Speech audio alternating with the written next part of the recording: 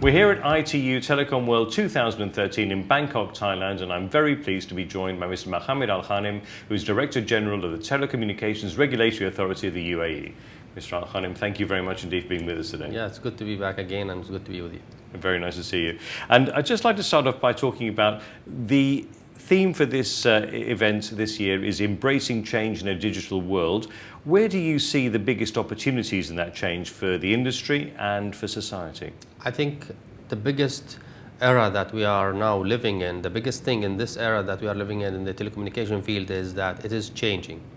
We have uh, telecommunication companies where they build infrastructure like highways, and we have over-the-top companies which they deliver the services.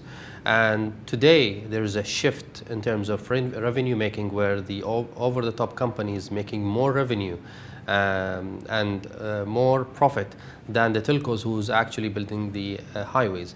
Now, if you if you think about it uh, for a minute, you will find that you know uh, who should pay for what. But the thing is, now we have we have an, an additional um, uh, value proposition which is much bigger than what the telcos was thinking of uh, by uh, by having the OTTs. Uh, so we are living in a, in, a, in a telecommunication environment where now the market has, over the past years, uh, enlarged by by so many folds, where has created so many opportunities, jobs, uh, there is a, there has been a lot of innovation, and I think that that can um, that can get bigger than what it's um, what what classically was driven by only voice, uh, data, and uh, and SMS. So today we are having uh, an opportunity for OTTs, an opportunity for telcos. The thing is uh, about the um, financial equation where where it's going to go. The world will require fiber so who's going to pay for this fiber and how the, uh, let's say, the uh, business model is going to, has to change in order to fit the circumstances. And what do you think are the biggest threats to this change? Okay, now we are, we are living into an open data environment and we are driven by the customer. Uh, the customer is uploading all his information into the net. So the driver for future economies is the internet as, as, as we see it right now.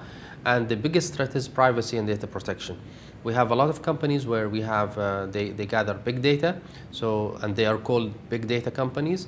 Uh, so the privacy of the consumer is the most important part where uh, we consider it as a threat because it's a threat to, to the customer privacy.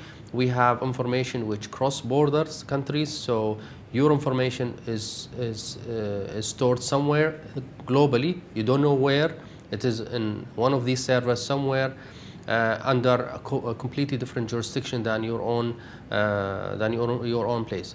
If your privacy has been breached, it's becoming so complex in trying to resolve it if you report it to the police or to the court in your, in your jurisdiction. So this is the biggest issue that we face right now and hopefully we will get into a global model where we, will, where we can solve it. And bringing it back closer to home, what is the TRA doing to embrace this change?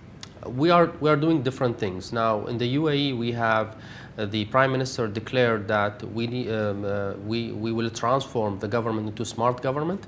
So we are upgrading the e-services to become uh, smart.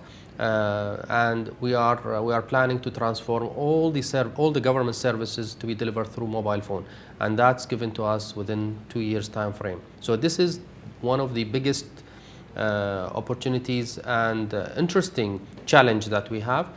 Uh, the second thing is the declaration of uh, the Prime Minister and the ruler of Dubai to transform Dubai to a smart city, which is again uh, following the smart government uh, move, but it's uh, also on a much bigger scale.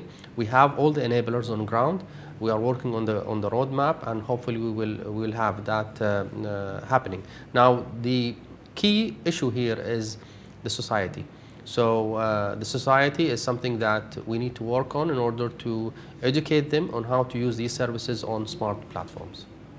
And finally, I'd like to ask you, what is the value, in your opinion, of attending events such as ITU Telecom World 2013, for example, which we're here, and I know that you travel a lot and, you attend a number of events, so we'd very much like to hear your opinion on that. It's always, it's always good to, uh, to, to, to do knowledge sharing.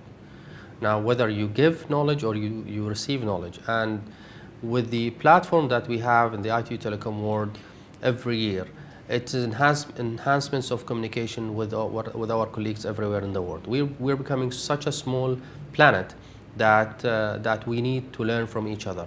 And it's open, it's transparent, it's really nice platform that we exchange information, we exchange models, fit them according to our, uh, our need. At the same time, we have models, we have experiences, we have uh, we have projects that we can share it with, uh, with our colleagues from different countries. I think this is the right platform to, um, uh, to, to come and to share knowledge with other people.